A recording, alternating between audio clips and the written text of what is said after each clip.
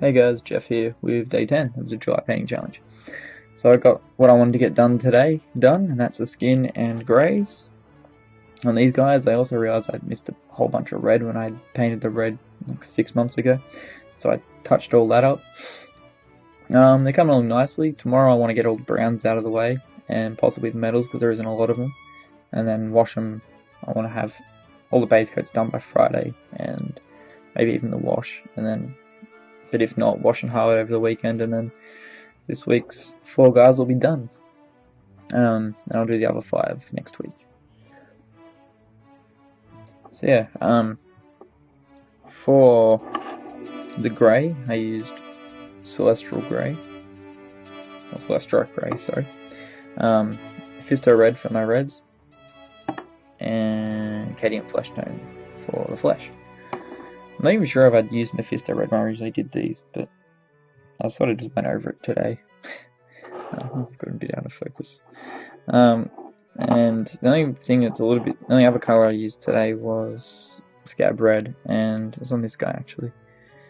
Get him nice and close. Come to see. He's got a little scar on his head. Um, yeah, I just put a light stroke of that down, so once it's been washed, I think that'll look real nice. So these guys are coming along nicely. Now, I'm not sure if I mentioned yesterday or not, but the main thing, main color scheme in my army is Middenheim. These guys I'm doing is Talabheim because it's a little bit a different color to paint red. Um, also do I've also done my handgunners as Talabheim, and I plan on doing so I've got two groups of swordsmen, one of 40 and one of 30 something. Because I bought the 30 something all second hand. They're actually the old style models. I really, really prefer the old style swordsmen. Like the models are just so much cooler looking. They're, you know, they're, they're not all doing this weird pose that they're about to stab over the head. Like they're actually sort of, you know, just marching along.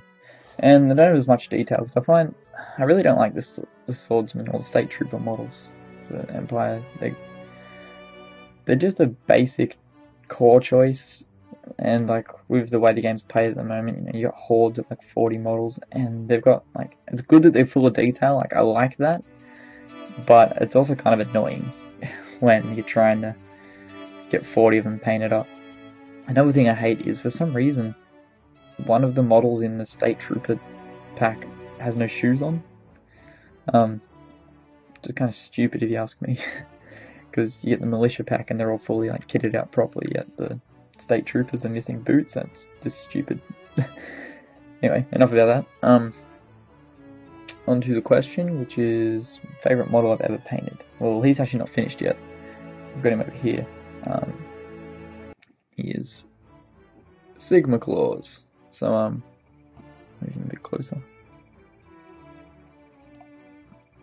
Um, yeah, I started him last December, I think it was, around last Christmas time last year. And um, I made all these presents and stuff out of green stuff, and there's an orc head in there, and some swords, a couple of bottles, a shield, a mortar barrel. Um, I was made for a bit of fun. It's how that old metal warrior priest model. I gave him a little hat out of green stuff, which I think turned out really nice. It's not finished yet, but.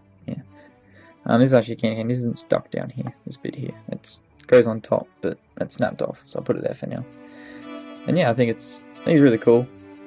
The reason I haven't finished painting him is because I wanted to do him during December, and then, um, leave him here.